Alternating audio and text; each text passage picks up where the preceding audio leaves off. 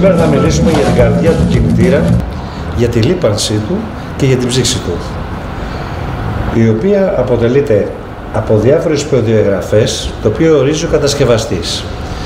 Ένας κινητήρας πρέπει να λιπαίνεται πάντα με το σωστό λάδι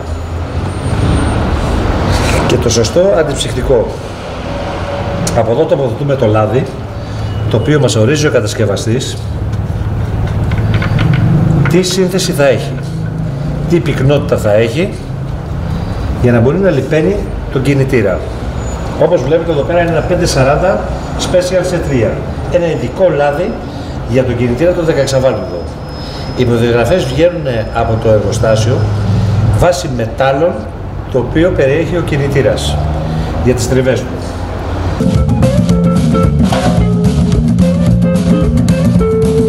Ύστερα έχουμε το θέμα της ψήξης, η οποία είναι πολύ σοβαρή, το οποίο αποτελείται από διάφορα αντιψυχτικά βάσει προδιαγραφών μετάλλων το οποίο έχει ο κινητήρας. Ποτέ δεν ανεγμύουμε μείγματα αντιψυχτικών τα οποία δεν κάνουν για τον κινητήρα μας. Για τις προδιαγραφές που έχει αυτή τη στιγμή ο κινητήρας αυτός ο Ιαπωνέζικος. Παίρνει συγκεκριμένο αντιψυχτικό, συγκεκριμένες βαθμίδες το οποίο αντέχουν τα κολάρα και δεν παθαίνουν ζημιές, αλλίωση και δεν μας βγάζει διάφορα πρόσθετα άλατα ο κινητήρας ώστε να βουλώνουν τα ψυγεία και να χαλάνε τα αλουμίνια. Ένα άλλο πολύ βασικό στην κίνηση του αυτοκινήτου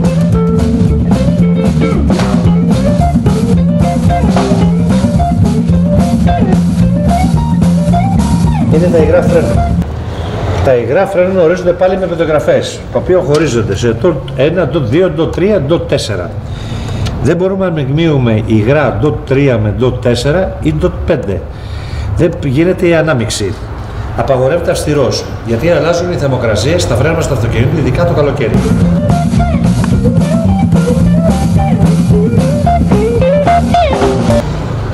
Μια, ένα άλλο πολύ σοβαρό πράγμα είναι το υδραυλικό τιμόνι. Το υδραυλικό τιμόνι αποτελείται από ένα λάδι υδραυλικού, πολύ ψηλό, το οποίο υπάρχουν διάφορες προδιαγραφές και στις προδιαγραφές μέσα αναφέρονται και όλες οι θερμοκρασίες που μπορεί να ανεβάζει ένα λάδι σαν το υδραυλικό, διότι υπάρχει τριβή ανάμεσα στην κρεμαγέρα και στις τρόμπες λαδιού. Ύστερα έχουμε το πολύ βασικό για το ταξίδι μας, τα πετσιλιστήρια.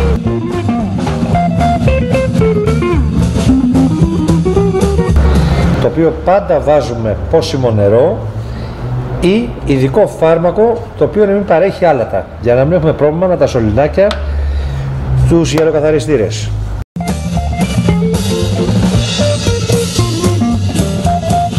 Έχουμε τις μπαταρίες, οι οποίες οι πιο πολλές μπαταρίες αυτή τη στιγμή είναι ξηράς φορτίσεως, οι λεγόμενες gel που λέμε και έχουμε και του παλιού τύπου, οι οποίες παίρνουν υγρά.